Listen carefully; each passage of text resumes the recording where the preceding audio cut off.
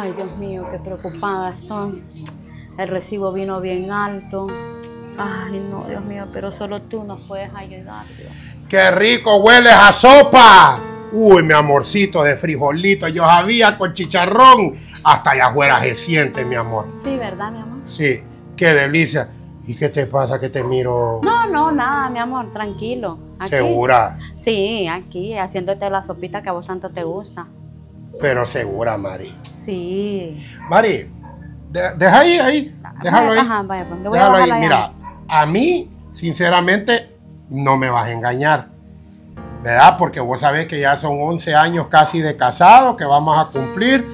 Y si algo tenemos vos y yo es que tanto vos me conoces como la palma de tu mano a mí, como yo te conozco igual a vos. Y yo sé que algo está pasando con vos que no me querés decir. Y yo creo que este es el momento en el que vos y yo tenemos que platicar. Quiero que por favor me digas qué es lo que pasa, porque yo sé que algo está pasando, hay algo que se está agobiando, hay algo que te tiene preocupada para que vos reacciones así. Ay, mi amor, es que estoy preocupada. Hombre, vi el recibo de luz que vino bien alto. Yo estar aquí en la casa encerrada, yo quisiera estarte ayudando a vos para poder solucionarte los problemas también que tenemos. ¿ah? Yo sé que te ayudo estando acá por el niño, pero no creas estar acá en la casa, me preocupo más y todo. ¿Me entendés, verdad? Bueno, mira, mi amor, yo creo que Dios todo lo hace con propósito, porque hoy casualmente estaba eh, meditando en la mañana y me encontraba con un versículo en Salmos, el cual dice, muchas son las aflicciones del justo, pero de todas ellas le librará Jehová.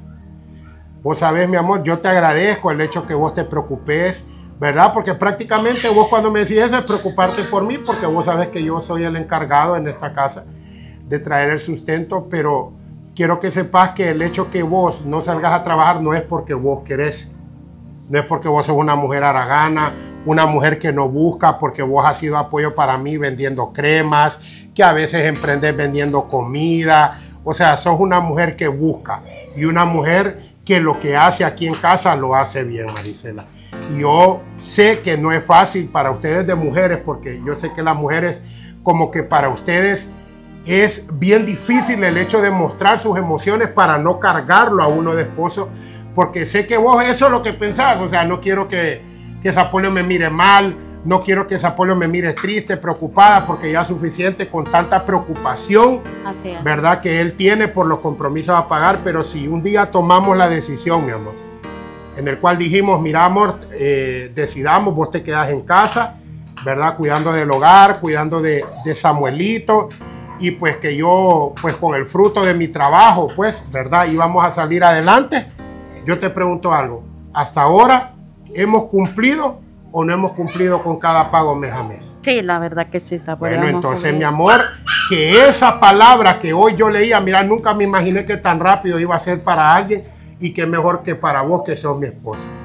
Muchas son las aflicciones del justo y de todas ellas le librará Jehová. Así que tené paz, Dios está en control, no te sientas de menos solo por el hecho que el trabajo que vos haces en casa de repente no genera una remuneración como la que yo recibo al hacer mi trabajo, pero para mí vale mucho. El hecho de venir a casa, saber que la casa está ordenada, que mi hijo está cuidado en mejores manos imposibles, que mejor que en las manos de su mamá. Saber que yo vengo a casa, tengo mi ropa limpia, o sea, y no es el hecho de ver el trabajo como que fueras una empleada doméstica, sino el hecho de, de yo saber que nuestra casa en mejores manos, imposible puede estar que en las tuyas como ama de casa pues tener paz, mi amor, no te sientas de menos, no te sientas mal. Yo te agradezco el hecho de que, de que te preocupes, pero No, más gracias, que preocuparte, Pero gracias, la verdad. ¿sabes qué? que- Cuando venga la preocupación, ponía alabanzas, empezá a orar. Si ves que la alacena está quedando vacía y no hay dinerito, empezá a abrirla, empezá a declarar en el nombre de Jesús. Mira, abrir la refri cuando la limpias, así como haces vos. Cuando, o- cuando lavas los platos, mira la casa, vos ministrar, decir, Señor, que nunca nos atrasemos en la casa, en el carro, en todo. ¿Qué mejor regalo para mí que vos vivas orando por nuestro hogar? Yo prefiero que en vez de que me des todo tu salario y por muy bueno que sea, yo prefiero que seas una mujer que aquí pase levantando brecha, que pase orando y junto a la oración que yo hago, podamos convertirnos en un matrimonio vencedor y que aquí, vos sabes que habita la presencia de Dios y aquí nunca Dios nos ha dejado de la mano. Ay, gracias de verdad, viejo. ¿Verdad? Esa palabra realmente que era para mí, ¿verdad? Y pues a seguir juntos y en Sí, equipo, amén. ¿verdad? Echarle ganas y no Sí. te dejes ministrar, mi amor. Si un día te sentís triste, orá. Adorar al Señor, que Dios tiene control de todo. Y este es un mensaje para ustedes, mujeres de casa, ¿verdad? Mujeres que de repente pues se quedan en, en casa haciendo todos los quehaceres, llevando el trabajo más pesado Así y es. más difícil que es poder sostener un hogar, ¿verdad? A que no desmayen. Y hoy el Señor te dice, muchas podrán ser tus aflicciones, pero de todas ellas yo te voy a librar, dice el Señor. Ten paz, confía, que estás en las mejores manos y tu confianza está puesta en el Rey de Reyes y Señor de Señores.